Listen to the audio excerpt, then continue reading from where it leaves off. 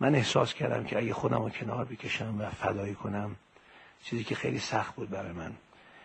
پرسپولیس بتونه با یه ذره آرامش بیشتر حاشیه کمتر و یه ذره اکسیژن و بهش بده. من فکر کردم با کنار کشیدن خودم بتونیم یه تکونی بدیم به فوتبال و یه نظم و انضباطی که لازمه یه فضای یه ذره تمیزتر. شما فکر کن کدوم کسی کدوم مربی می‌شناسه که از این واقعا قرارداد بسیار بسیار خوب کنار خودشو بکشه و از این محبوبیت خودشو کنار بکشه و شک نکنین ماها و سالها افشین قطبی رو می‌زنن تو روزنامه به خاطر اینکه الان دارم پرسپولیس رو خودم رو کنار می‌کشم. فکر کنم من همیشه احترام گذاشتم به مردم و بزرگان و هیچ وقت دوست ندارم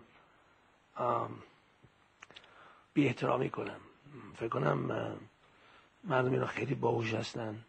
خیلی کسا هستن که فکر کنم با رفتن قطبی منافع دارن تو این باشگاه و دوست دارن جایگاه خودشونو بردارن. با رفتن من فکر کنم خیلی کار خوبم میشه انجام شد. به خاطر اینکه ما یه تکونی به فوتبال میدیم و شاید این فوتبال خودش رو زیر میکروسکوپ نگاه کنه و و خودش رو یه ذره جمع جورتر کنه. من نمی‌دونم چه لغتی استفاده کنم که واقعا واقعا. تو بگم.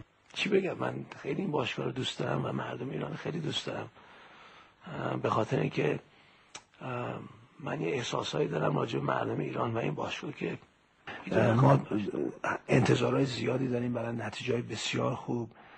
ولی اون برنامه‌ریزی و اون هماهنگی که لازم هست بین تمام مجموعه نیست. و پرسپولیس باشگاهی که من به شما صحبت می‌کنم. پنج دقیقه تمام کشور می‌دونم شما از با استفاتون می‌خواین از اون مبلغ قراردادتون بگذرید. یعنی یعنی حق و حقوقتون رو می‌خواین بگذرید یا نه؟ باید مسئولان پرسپولیس در مورد این موضوع و تأمین اون به فکری باشن. من راجب این زیاد فکر نکردم و مجموعه پرسپولیس و مدیرانشون باید با وکیل من صحبت بکنن و